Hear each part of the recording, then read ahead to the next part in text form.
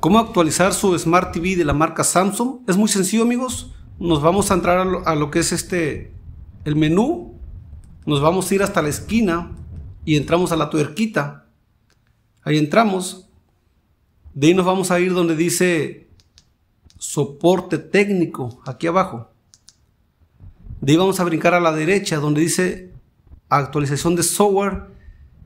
Y de ahí le, le volvemos a dar hacia la derecha otra vez y dice actualizar ahora y actualización automática. Les recomiendo tenerlo en actualización automática porque de esa manera este, su televisión se va a actualizar cada vez que esté una actualización disponible.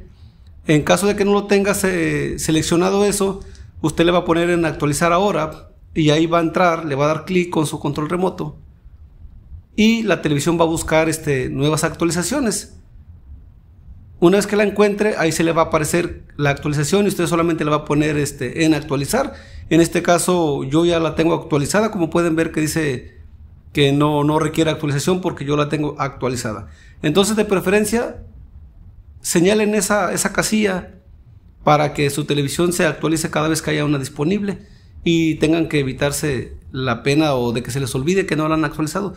¿Para qué sirve la, actualización? Es para el mejor funcionamiento de, su Smart TV y de aplicaciones futuras que puedan aparecer en su pantalla. Así es que eh, espero que les haya servido este pequeño tip y nos vemos en la próxima.